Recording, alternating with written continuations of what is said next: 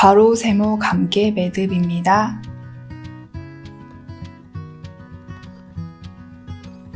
이렇게 세워서 완성됩니다.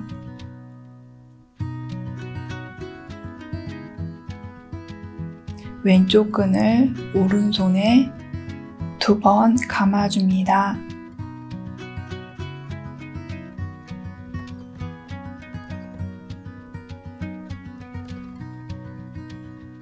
왼손에 옮겨 잡고 오른쪽 끈을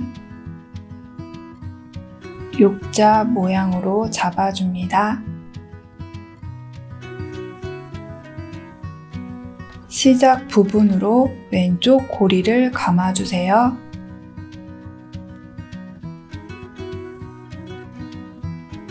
고리를 세워서 뒤쪽 끈과 같이 잡아줍니다. 왼쪽 끈을 왼쪽 고리에 왼쪽에서 오른쪽으로 지나서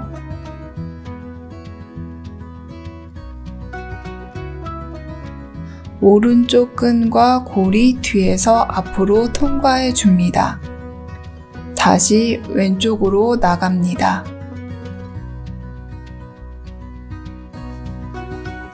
왼쪽 두 고리 사이를 왼쪽 끈으로 엮어주기 위해 살짝 뒤집고요. 지나갈 부분을 확인하고 왼쪽 끈으로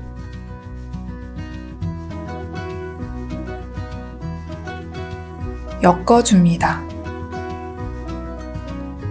앞으로 뒤집고 지나갈 부분을 확인하고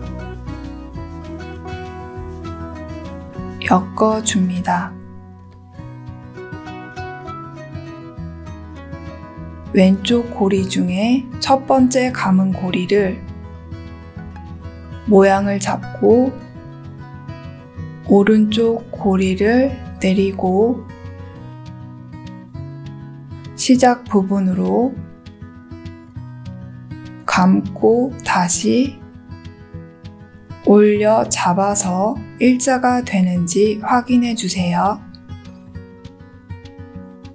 오른쪽 끈을 왼쪽 고리 왼쪽에서 오른쪽으로 빼주시고 오른쪽에 만들어둔 고리에 앞에서 뒤로 뒤쪽에 있는 끈과 같이 감아서 왼쪽 고리로 나가줍니다. 그러면 이런 모양이 되고요. 손가락을 빼고 끈을 정리합니다. 시작 부분, 끝나는 부분,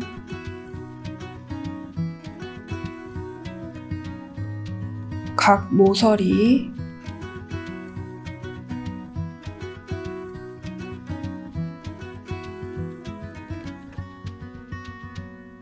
사이사이에 고리가 보이면 거기도 한 번씩 당겨서 정리해 주시고요.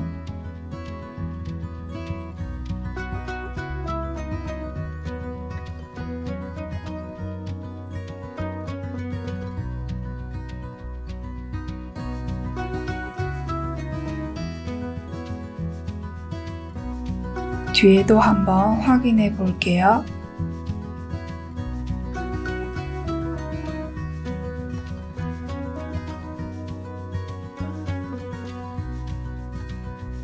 어느 정도 모양이 잡히면 송곳으로 줄여줄게요.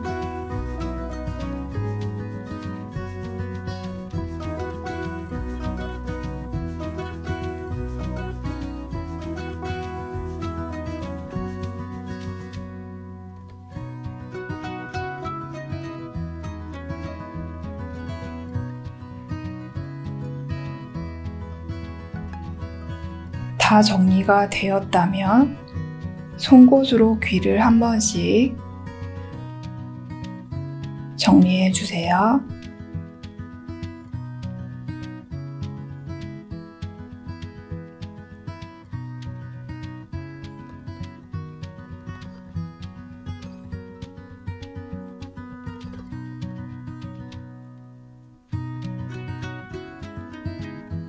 매듭이 단단해지면서 예쁘게 완성됩니다.